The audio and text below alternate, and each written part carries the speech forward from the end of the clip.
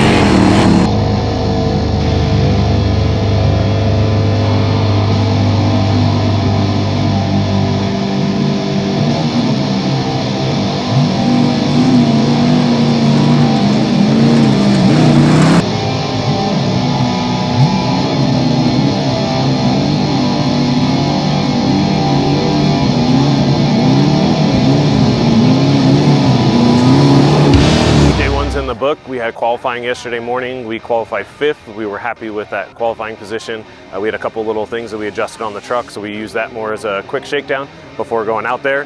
Uh, went out, it was a super fun course. Uh, got to go through College Heights and some of the washes, so super fun, super fast. Uh, ended up with finishing third, and it comes down today, and it's the last day and we got a 21 mile course ahead of us, super technical, and we'll see what happens.